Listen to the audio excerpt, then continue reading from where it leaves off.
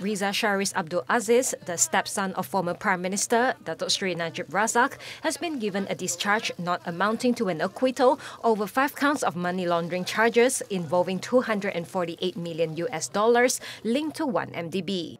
Kuala Lumpur Sessions Court Judge Azman Ahmad made the ruling after both parties reached an agreement through a representation sent to the Attorney General's chambers on Thursday.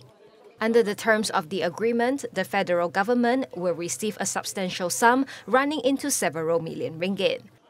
However, the prosecution could still pursue the charges against Riza if he fails to fulfill the agreement. The court also ordered for Riza's 1 million ringgit bail in two sureties to be returned. Riza, co founder of Red Granite Pictures, which produced The Wolf of Wall Street, pleaded not guilty to the five charges on July 5th last year.